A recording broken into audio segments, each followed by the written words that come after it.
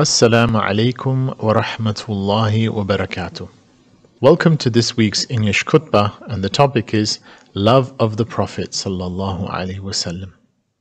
Alhamdulillah, all praises are due to Allah, the one who has graced us through giving us faith in Him, the one who has favored us through sending to us the Prophet sallallahu alaihi wasallam as the best of creation and the final messenger.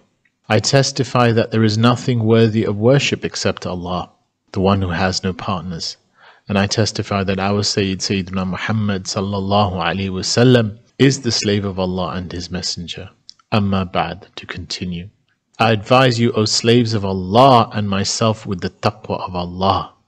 For verily Allah subhanahu wa ta'ala tells us that whomsoever obeys Allah and His Messenger and has taqwa of Allah and is conscious of Him, فَأُولَٰئِكَ هُمُ الْفَائِزُونَ They are those who shall be the ones who attain unto success. أيها المؤمنون, O believers. A man once came to the Prophet ﷺ and said, O Messenger of Allah, indeed you are more beloved to me than myself. You are more beloved to me than my own family, and more beloved to me than my own child. When I am at home, I remember you and cannot be patient until I visit you, for it is then that I can see you. But when I think of your death, I know that if you enter paradise, you'll be raised unto the company of the prophets. And as for me, if I enter paradise, I fear that I will not be able to see you. The Prophet ﷺ did not immediately respond to this man until the angel Jibreel alayhi salam descended upon the Prophet وسلم, with this verse. ومن يطع الله ورسوله فأولئك مع الذين أنعم الله عليهم من النبيين والصديقين And whoever obeys Allah and the Messenger, those will be the ones upon whom Allah has bestowed the favor of the prophets and the steadfast affirmers, affirmers of truth. So we can see, brothers and sisters, that the Prophet ﷺ, through the blessings and the, this revelation, was affirming that people will be with those whom they love. And this man, despite thinking that even if I get to Jannah, his main concern would be or was, will I be able to be in the company of the Prophet? Will I still be able to be able to look upon his blessed countenance? And such was the way of the Prophet ﷺ, for his presence would invoke a love in those who truly could see who he was. For he was a prophet sent to all of humanity and a mercy sent to all of mankind, wherein the more one remembered him, the more their love would increase for him. And thus it is that we find that on the occasion of his uh, milad, on the occasion of his blessed birth, we find that those whose hearts are connected to him find their hearts becoming overflowing and full of love. And they can't help but have their tongues give expression to some of this love and proclaiming this love that they have for him. For ultimately, this path and this connection to the Prophet ﷺ is not some dry, austere thing. It is a connection built on love. Because the Prophet ﷺ himself is the beloved to Allah. And he is the intimate companion to Allah. And that's why the Prophet ﷺ said, إن الله تعالى قد اتخذني خليلا كما اتخذ إبراهيم خليلا Indeed, Allah has taken me as His intimate companion, as He took Ibrahim salam, as His intimate companion. And so, brothers and sisters, we should recognize that love of the Prophet wasallam is just a faithful expression of what our religion and faith or iman or certainty in this religion demands of us. For the Prophet ﷺ said, لا يؤمن أحدكم حتى أكون أحب إليه من والده وولده والناس أجمعين. None of you truly believes till I am more beloved to him than his father, his child, and all of mankind. And so the perfection, the reality of our Iman is determined by the degree of our love of the Prophet. Indeed, we have to take ourselves to task on this and then look deep in our hearts and examine our love of the Prophet. For how can we not love him when we what we owe him is greater than what we can owe anyone else? For if we really reflect, ultimately his concern for us preceded our concern for him. For all of the prophets were given one supplication or a supplication that was mustajab, that was guaranteed to be answered. And the Prophet ﷺ, unlike the other prophets, stored this particular supplication for the day of judgment, wherein he hoped to make supplication for the intercession of those who believe from his ummah. That's why the Prophet ﷺ said, لِكُلِّ نَبِيٍّ دَعْوَةٌ مُسْتَجَابَةٌ He said, there is for every prophet a supplication which is guaranteed to be answered. فَتَعَجَّلَ كُلُّ نَبِيٍّ دَعْوَتَهُ and but every single prophet put forward their supplication during the worldly life. وَإِنِّي أختبأت دعوتي شفاعة لأمتي يوم القيامة but rather I have reserved my supplication for the intercession of my ummah on the day of judgment. So, brothers and sisters, how will it be on that day when every single person is saying, Nafsi, Nafsi, Nafsi, myself, myself, myself? And the Prophet ﷺ on that day will be saying, Ummati, Ummati, my, my nation, my nation, my nation. How can we not love him?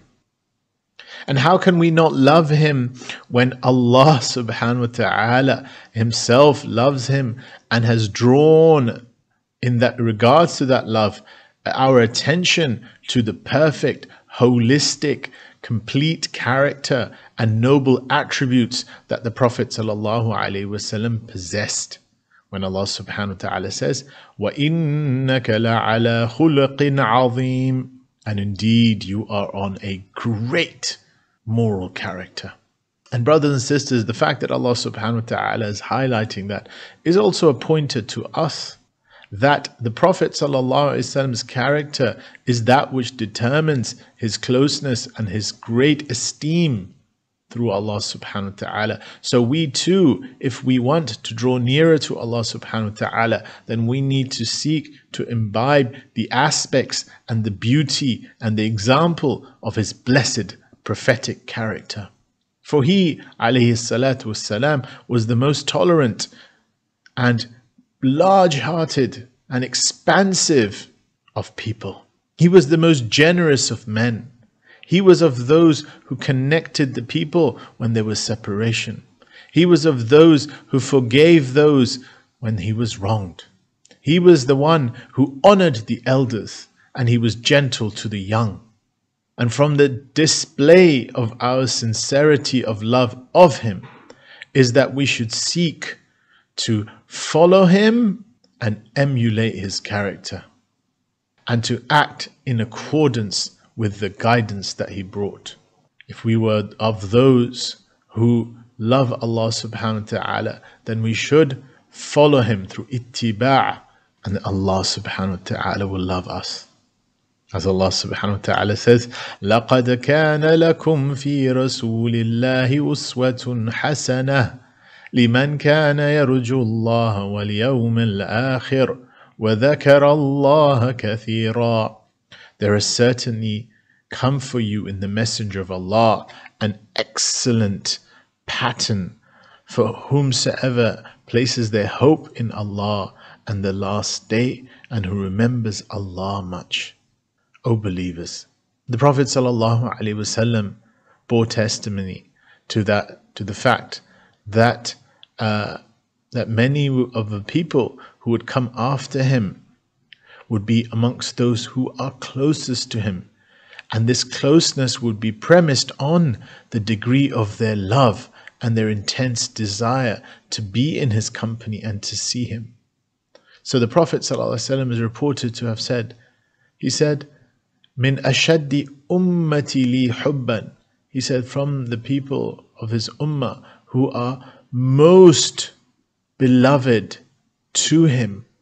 Nasun yakunu ba'di يود أحدهم لو رآني بأهله وماله that there will be people who come after that who they would be of those who would have the keenest desire to see him to see the prophet sallallahu even if it be at the expense of their own family and wealth brothers and sisters the prophet sallallahu promised that whomsoever is true in their love of him, then they will attain unto that company of the Prophet ﷺ in paradise.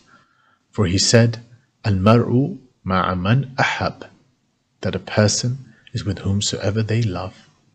So let us take this occasion to increase our love of the Prophet ﷺ.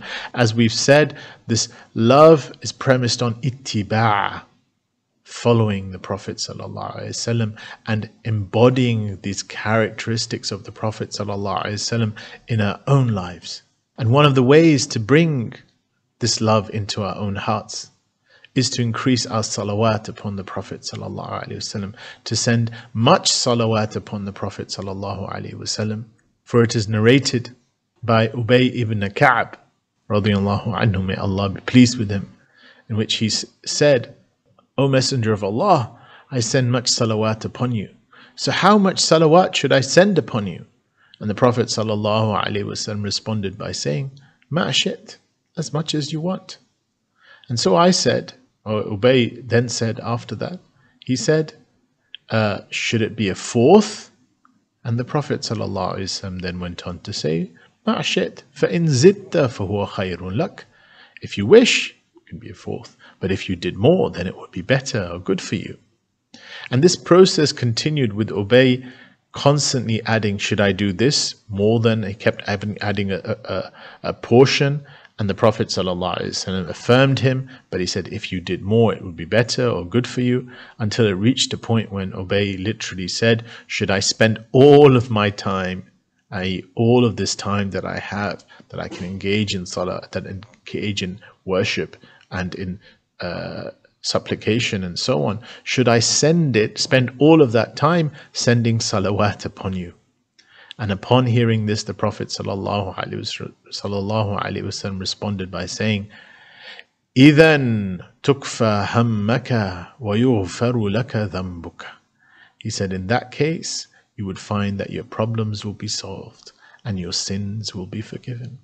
And it's for this reason that the scholars say that one of the surest ways of ensuring our problems get solved, and one of the best ways we can orientate our, our lives and our hearts towards guidance, especially in times of darkness and difficulties, is by busying and occupying our lives and our days and a portion of our nights, if possible, with salawat upon the Prophet sallallahu alaihi wasallam.